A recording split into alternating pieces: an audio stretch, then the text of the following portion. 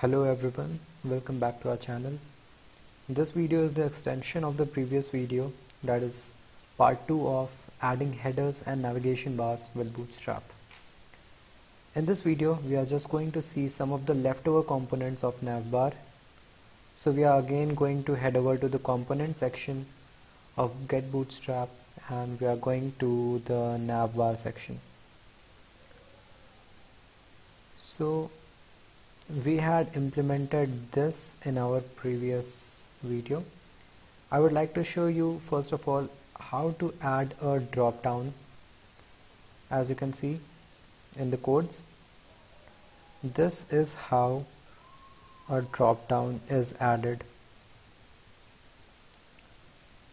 So what I'm going to do is going to copy this and paste it in my code has a list item. I'm going to save this and when I refresh I will find a drop down here. You will notice that there is a gap here next to the navbar brand. If we want not to have this gap we can remove this and for that all we have to do is convert this container into container fluid.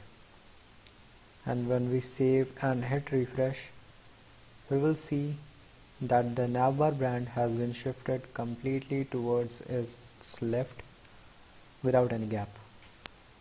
Okay for your information this drop down needs javascript as well as jquery if you remove the JavaScript or the jQuery from your HTML code then the drop down will not work.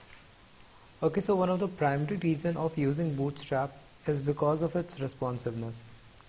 Let's see what happens to this navigation bar when we decrease the size of the screen. See this is the same navbar that we were looking at all along until now we had multiple links, drop downs as well as form elements. But now as we have entered into the smaller device screen size, the entire elements of navbar have been hidden and put inside this button which is known as the hamburger menu. As you can see all the links that were already earlier present in the navbar are now inside this hamburger menu now. This is a very impressive feature of Bootstrap that makes life easier on small screen sizes and thus creating responsive web pages. Okay, let's implement this in our code now. As you can see, this is the part that we directly used in our code and we didn't use this part previously. Also in here, you see a div tag with the class collapse navbar collapse. So what happens when we use this class is that anything within this div tag will be gone when we reduce the web page to a certain level or when we use devices with small screen size.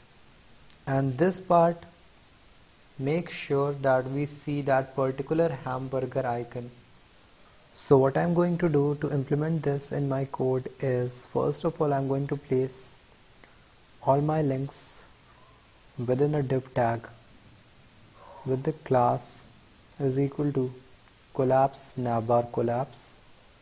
And I'm going to give an ID to this div tag as my links. I will close the div tag up down here I will save this and I will now hit refresh on my index.html we will not see a change but when we will scale this down to a smaller screen size we will see that all the links have disappeared. Now we need to make sure that these links that have disappeared on bringing the screen to smaller size can be accessed using the hamburger button.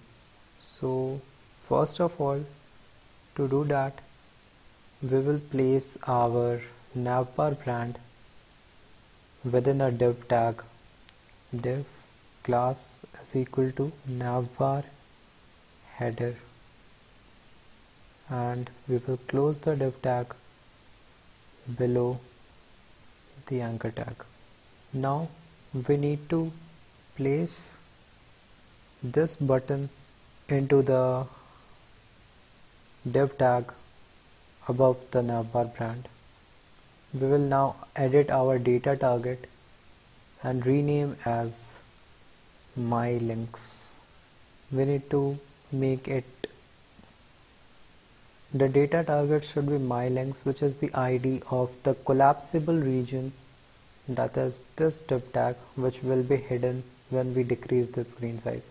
So now when the screen size decreases we will see a hamburger button and that will target us to this div tag. Now I will save my work and let us examine our web page now. I have hit refresh and now when I decrease the screen size I can see the hamburger menu now and when I click on it I will see all my links including the drop down menu. So this is how Bootstrap helps us to make our pages responsive. If you have any queries, comments or questions, put them in the comment section below and I will come back with more topics on Bootstrap in the next video.